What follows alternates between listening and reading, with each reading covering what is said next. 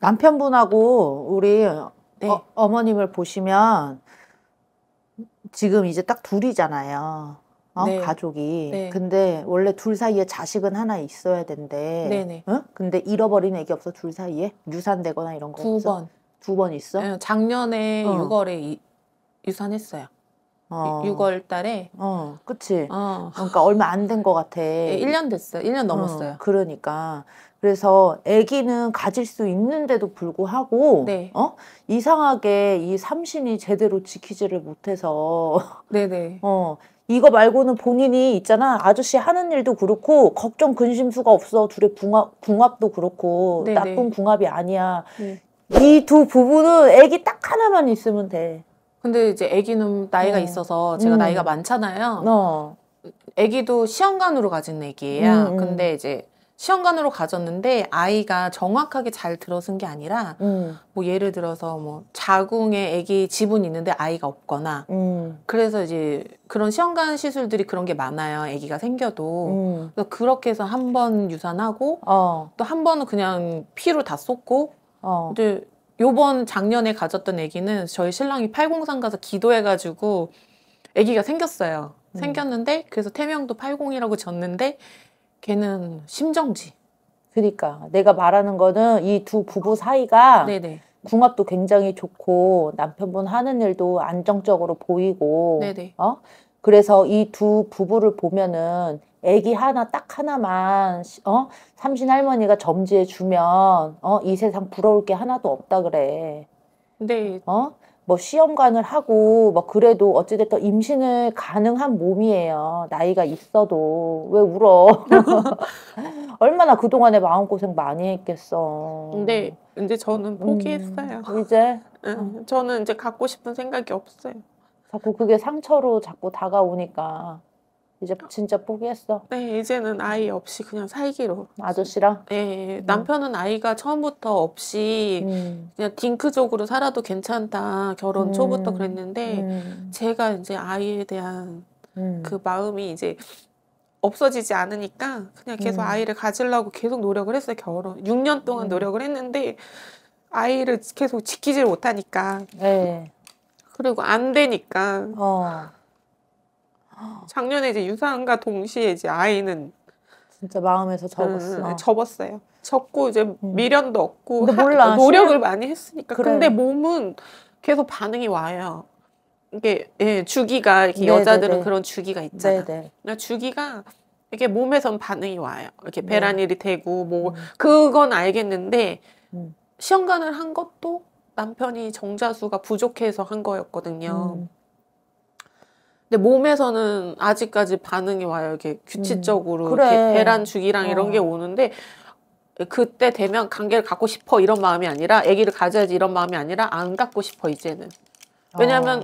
그게 제가 자신이 없는 거예요. 이 아이가 정상일지 아닐지도 모르고 나이가 많으니까 음. 그런 생각이 들어서 또 뭐 뱃속에서 잘못될 수도 있고 그러니까 제가 음. 갖기 전에 기도를 했을 때도 네.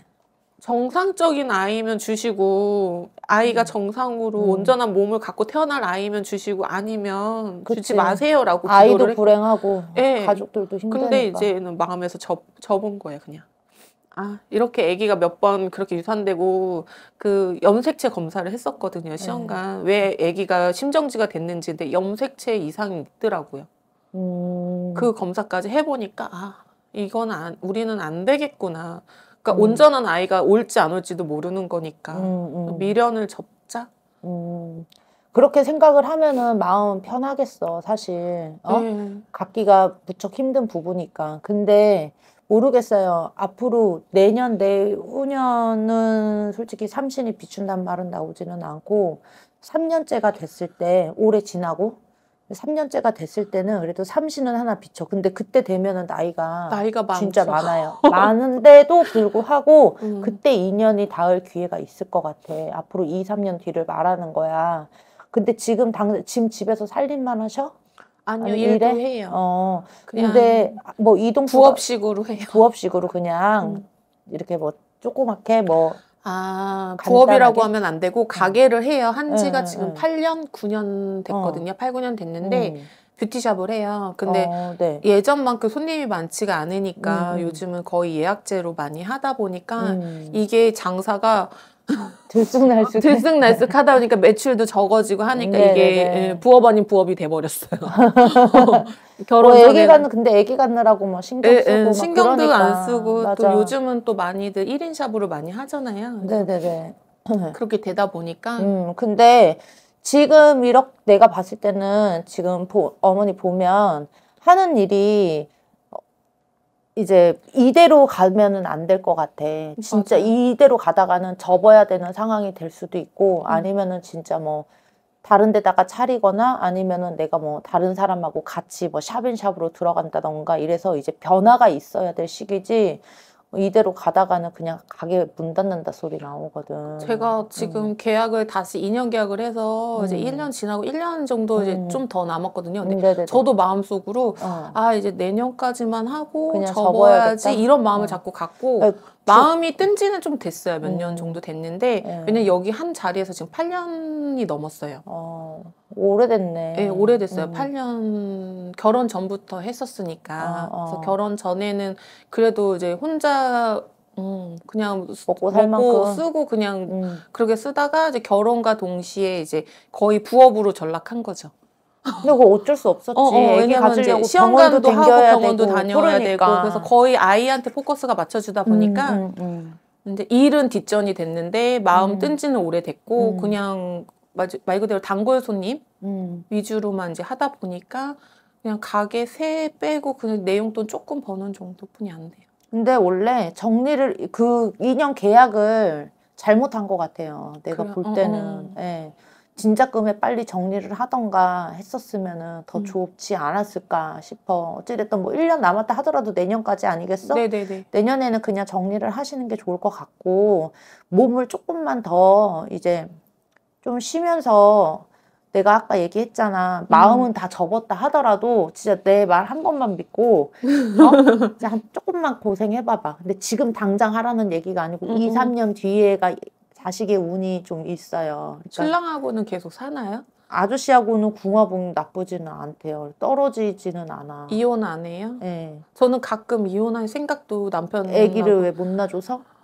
어 이런 얘기 하면 근데 신랑하고 되게 많이 싸웠거든요. 결혼하고서 엄청 많이 싸웠어요. 안 맞아서 성격이 음. 네네네. 성격 차이도 있고 하니까 근데 어떻게든 자식을 하나 낳아서 키워가지고 키우려고 안 떨어지려고 뭔가 연결고리를 가운데 자식이 어, 마- 있으면 어, 참게 되니까. 남편하고 이제 아기도 없다고 생각하고 이제 아이도 고만 놓고 살아야지 하는데 마음에서 한쪽에서는 남편을 조금 밀어내는 마음도 없잖아 있긴 해요. 그거는 내 무당 입장에서 봤을 때는 남편분하고 궁합은 나쁘진 않아요. 아무리 궁합 좋은 부부라 하더라도 각자 몇십 년을 나는 나대로 너는 너대로 살다가 이거를 맞춰가려니 아무리 궁합 좋은 부부라 하더라도 투격태격 하는 거는 2, 3년은 고비는 다 누구든 있는 것 같아.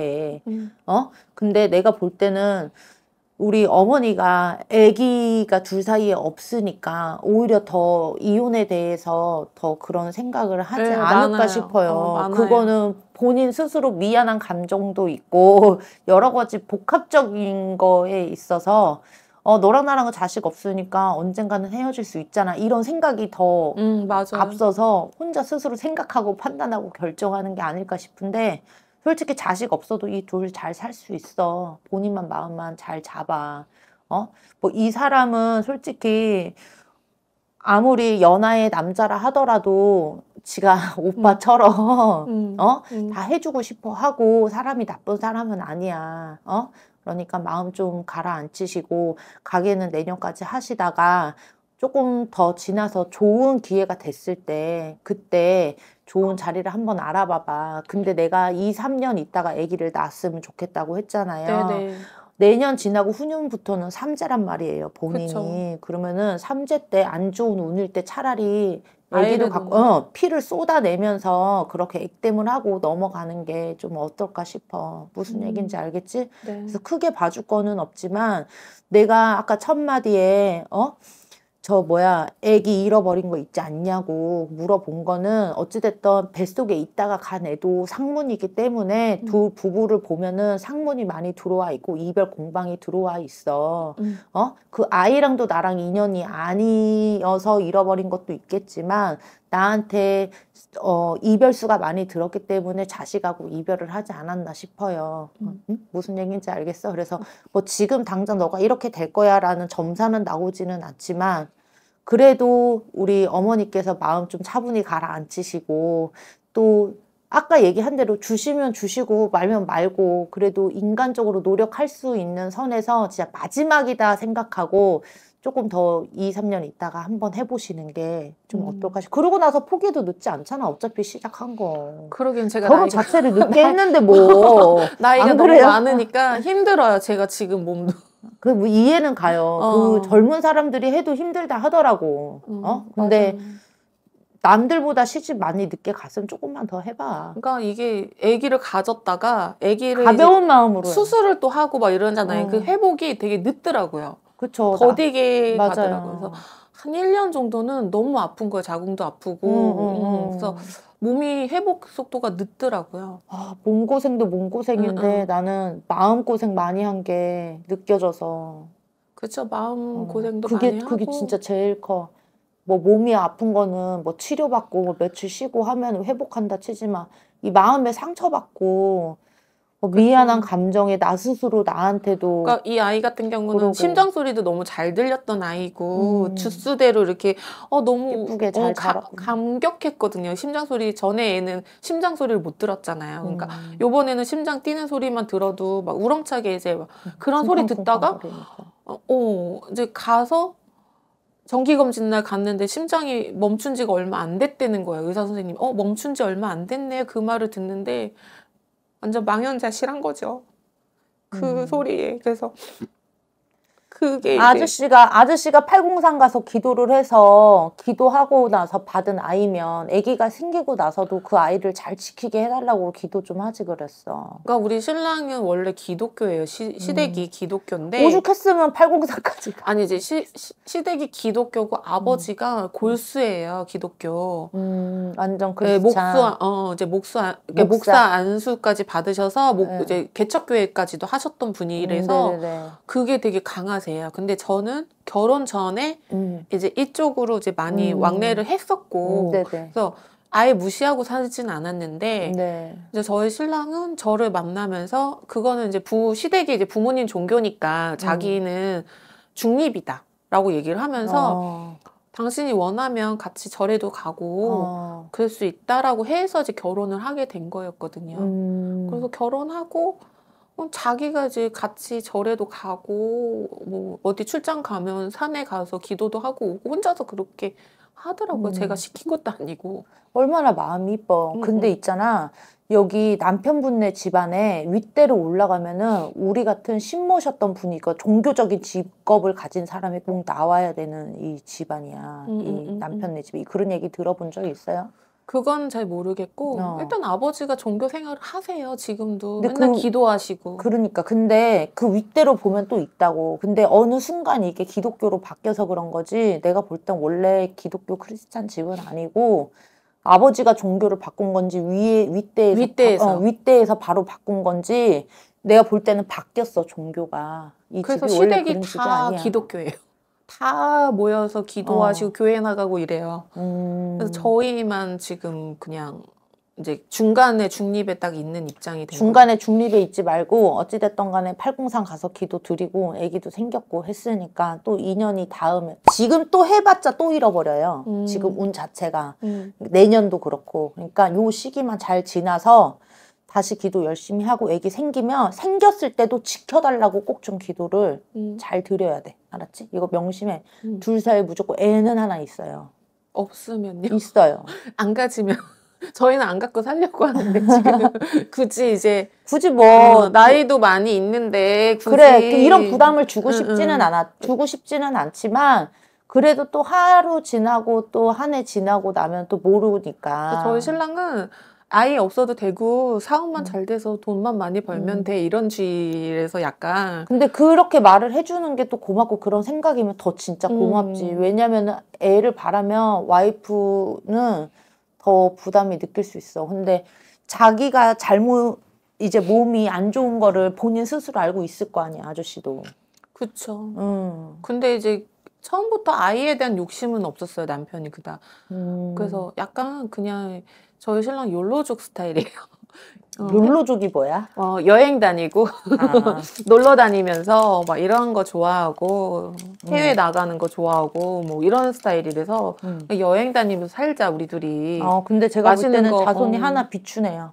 그래요. 예. 마음을 접든 말든 그거는 본인애들 알아서 하는데 무조건 하나는 있대요. 아. 난 일단은 마음 편안하게 안 낳겠다라고 생각하고 사시다가 음, 음. 또 시간이 생기면 지나면은 예, 그때 한번 가벼운 마음으로 주면 감사하게 받아야죠. 음. 가벼운 마음으로 노력해봐봐. 어쩌다가 또 다가올 수 있지 않을까?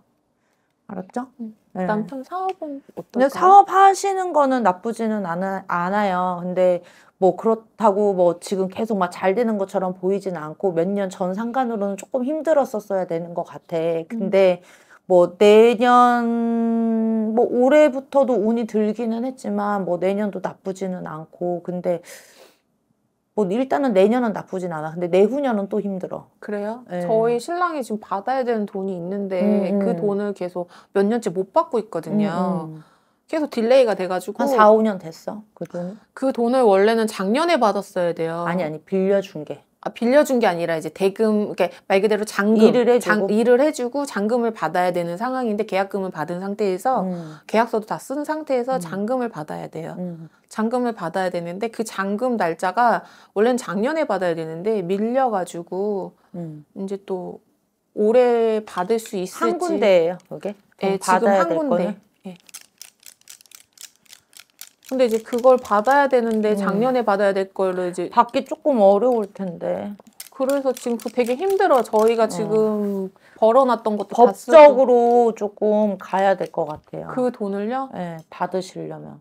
왜 힘들까요? 그 계약서도 다 정상적으로 쓰고 그랬는데 계약서가 중요한 게 아니고 돈 줘야 되는 사람 다 없다고 하면 땡기잖아. 근데 음. 아무튼 그냥은 있는다고 줄 것 같지는 않고 뭔가 법적인 조치를 해야지만 음. 어, 받을 수 있다고 나오고 뭐 내년은 조금 괜찮은 듯 보여도 내후년에는 또 힘들 수도 있고 그래요. 음, 음, 그래서 앞으로는 운이 좀 올라가다가 꺾 이제 서른아홉 막 이때서부터 좀 꺾여야 되는 상태였었거든 원래 이분이 원래는 음. 잘 되다가 서른아홉 뭐 마흔 이때서부터 조금씩 꺾이는 해라 또 앞으로 내년 잠깐 괜찮고 내후년 또 힘들고 한다 하더라도 또 시간이 지나면 또 다시 올라와 그러니까 2, 3년만 잘 버텨봐 음. 애기도 그렇고 일도 그렇고 아시겠어? 네네네. 어. 그러면 괜찮아요. 네네. 네. 저희 그냥 문제될 건 없는 거예요, 그러면? 어. 음.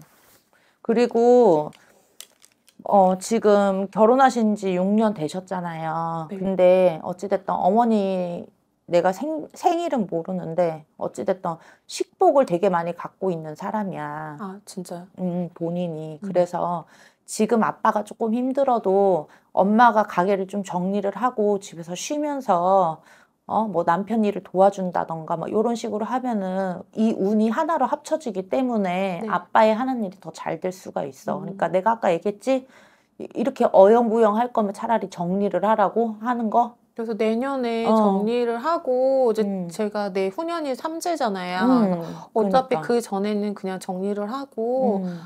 일단은 그냥 몇 년 좀 쉬다가 그래, 이제 그래요, 다시 그래요. 일을 하든 그래요. 내가 아까 한 말이 그 예, 말이야. 저도 약간 음. 생각은 그렇게 하고 있거든요. 어, 그냥 어, 어. 왜냐면 올해 들어서 어, 코로나 때보다 매출이 더 떨어졌거든요. 음. 그래서 단골도 많이 끊기고 음. 그래서 아, 올해가 너무 많이 힘든 거예요. 매출 인연이 다 닿아서 그래.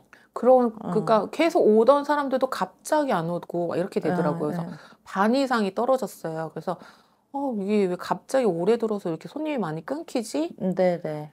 어, 그러고 있었어요. 그래서 아, 내년까지만 하자 그냥. 음, 일적인 거는 이미 올해 이번 연도에 정리를 했었어야 됐는데 그 시기를 놓쳤고 음. 내가 일하는 그곳하고 이제 어머니하고 인연이 끝났기 때문에 아. 진작 정리를 오래 했었어야 됐는데 그 일터랑 인연을 연장을 한 거야. 그러니까 내년은 정리를 하는 게 좋지. 근데 아까 말한 게 삼재다 보니까 정리하고 좀 쉬면서 또 마음이 바뀌면 아기 갖기 위해서 조금 노력하다가 그렇게 다시 일을 하면 되는 거고 또 내가 잠깐 쉴 때 아빠가 또 잘 될 수 있어 오니 하나로 합쳐지니까 네, 네. 네, 아시겠죠? 2, 3년만 딱 고, 부부가 고비예요. 음, 그렇게. 예, 너무 속상해하지 말고. 죄인 아니야. 죄인 아니지 뭐. 아빠가 하자가 있는 건데. 아, 제 저도 죄인이라고 생각은 안 하는데 제가 또 이렇게 너무 외롭게 자라다 음. 근데 보니까 또 그게 있어요. 아기가 있음으로 인해서 부부의 인연을 이어가기도 하지만 자식으로 인해서도 부딪히고 충돌하는 부분이 되게 많아서 음. 아기가 있다고 해서 없다고 해서 좋은 것도 있고 나쁜 것도 있고 나는 둘 다 장단점이 많은 것 같아. 예, 그렇죠. 진짜. 예. 일단 나이가 아무래도 마, 음. 저는 나이가 제일 많이 걸리는 거예요. 나이가 많으니까 이제는 끝이다. 그냥 이제 유산하고 음. 너무 힘들고 몸이 이제 회복 속도도 늦고 맞아. 지금 맞아요. 어, 지금도 이제 제 몸도 이제 점점 점점 무거워지는데 음, 맞아. 어, 힘들더라고요. 그래서 시간 지나고 마음 바뀌면 다시 한번 노력해봐. 몰라, 무조건 하나 있대. 그래서 아니 몸이 여자들은 느껴지잖아요. 자기가 네. 배란 일이 되고 막 그쵸. 이럴 때 어, 느껴지잖아. 그쵸. 그러면 어, 나 왠지 이게 몸은 음, 반응을 하는데. 어, 몸을 반응은 하는데 이제 그때마다 신랑하고 이렇게 하면 아기가 다 생겨야 되잖아 자연적으로. 근데 우리는 안 생기는 거야. 음. 병원에서도 어 상태는 퍼펙트해요. 막 이래요. 음, 어 근데 왜 안 되지? 이러더라고 의아해 하더라고요. 음, 그래서 이제 병원을 가게 된 거거든 난임병원을. 음. 근데 이제 난임병원에서 문제가 상태가 안 좋아. 우리 신랑이 좀 보기보다 음. 보기에는 되게 건강하고 이게 보여요 보이기에는 음. 근데 안에 속이 이제 많이 부실하더라고요 애기들 올챙이들이 올챙이들이. 어, 그래서 좀 보기보다 다르더라고요 음. 씨가 많이 음. 이렇게 약하더라고요 그래서 그래서 기도도 좀 많이 했어요 음, 하다못해 진짜 바다에다가 막 음. 정자수 많게 해달라고 기도도 하고 막 가서 어. 하기도 하고 많이 하고 별의별 걸다 했구나. 예, 예. 그래서 아이를 언제 생긴다까지 딱 날짜도 다 받고 음. 막 그랬었었어 여러 번. 음, 근데 이제 그런 걸 했는데 음. 그게 다 엇나가고 무산되고 막 이러니까 음. 뭔가 마음에 되게 막 화가 막 치밀어 오는 무슨 거- 얘기인지 응, 알아. 응. 근데 내가 지금 어머니한테 뭐 하란 말 안 하잖아. 어? 그냥 이미- 그때 어. 되면 인연이 닿을 이- 일이 있으니까 그때 되면 노력만 해보라고 했잖아. 그동안에 했던 그런 정성들이나 기도들이 그때 당시에 무당이 너 이때쯤 애기 생길 거야 라고 해서 안 됐다 하더라도 그때 정성이 그때 또 이루어지는 뭐 저는 이해가 안 되는 해봐. 거예요. 너무나 이게 음. 한 곳에서 그런 게 아니라 어. 가는 곳마다 어. 삼신이 비추고 아이가 보이고 음. 어, 막 이렇게 다 얘기를 해줘. 배부르는 것까지 다 보, 어, 보인다고까지 했는데 어떻게 다 그런 것들이 다 어긋나지니까. 음. 영적으로 보이기엔 다 그렇게 다 보셨는데. 네. 근데 저는 그게 다 어긋나졌다는 게 너무 화가 나고 음. 나중에 들은 얘기는 음. 저희 이제 이 시댁 쪽이 그쪽이잖아요. 네. 그러니까 이렇게 거기서 틀은 건 아닌지. 아니요, 그 조상 때문에 그런 거 같지는 않아요. 제가 볼 때는. 근데 제가 아까 얘기했잖아요. 애기 잃어버린 거 있지 않냐고. 네. 어? 그러니까 애기가 생겼어도 이별수 이런 게 많이 들어와 있기 때문에 부부의 인연을 이어가려다 보니 어? 아이가 간 거예요. 그럼. 음. 음. 하긴 작년에 제가 약간 그런 공방 음. 그 수가 있다고 하긴 음. 했었어요. 그래 다 때만 거야. 아 아이로 보낸 음. 게. 음. 나 그렇게 좋게 생각해. 네 그렇게. 네. 감사합니다. 들어가세요. 네. 네.